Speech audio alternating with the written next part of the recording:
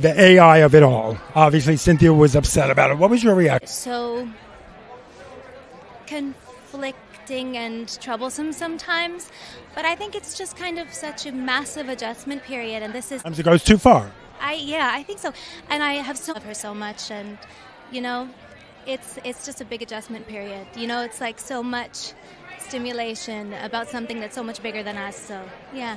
Do you think you and Cynthia, after this, will record original music together? Professionally and personally for the rest of our lives. So I would say absolutely. Good. Hello, everyone, and welcome. Hello. I felt I'm lucky. Required to do every single thing all at once while also being someone else, you know, with most amazing honor of my life. And and I'm curious because when I heard this cap, he might be coming from and what he might be thinking and feeling beneath, you know, the grand. Uh, Not, yeah, never yes, forget it. never get it. It's like, yeah, yeah, don't let it run you over. yes. and no more singing with anyone ever again. Yeah. It'd be no. very, very difficult yes. to be satisfied with anyone else's voice. But it really yeah. is beautiful, you know. We yeah. sound so different when mm-hmm. we're singing separately, and then when we sing together, it just feels so symbiotic. And we kept so. going like this. We were like, it's so good to hear you. The whole dance too. number. Start. no, um, I mean, listen, it's a song that I've loved again since I'm 10 years old. So, to love something and then to live it to be you know to have that be your job to live it and bring new truths to it is like completely different you know you're looking at the lines in a new way and you're trying to figure out your own version oh, yeah. of these lines that you've loved for so long. Audience member just enjoying all of the craziness and the, like, there. Uh, okay, I don't know anything about it.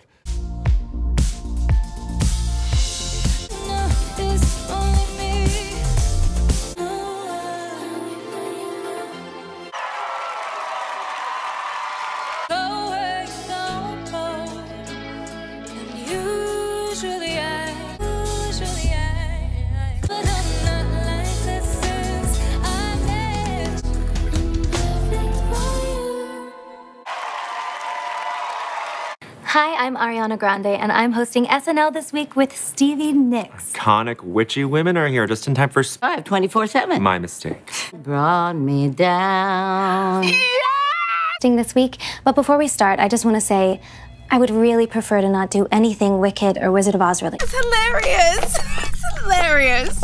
No, not till now. Not till. We've brought you here today to take a lie detector test. One. Yeah. Oh, yeah.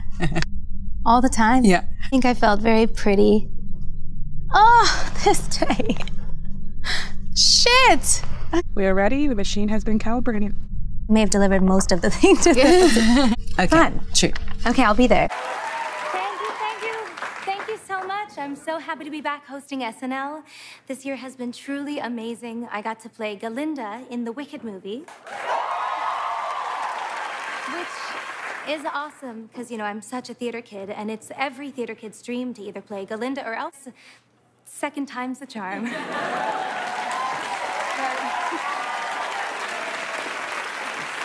but before I start, I just want to make one thing clear tonight. I am just. I'm not gonna wink at my camera. I promise. Far away from me, because the last thing I'm gonna do is modulate the key.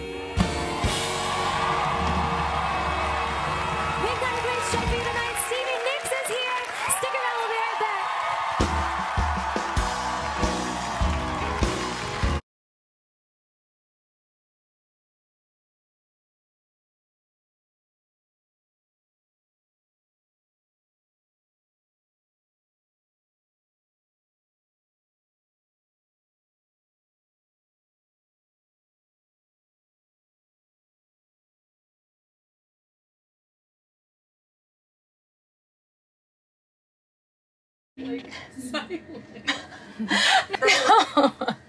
I didn't freeze. I was like getting ready to apply it, Courtney. I'm fine. I'm fine.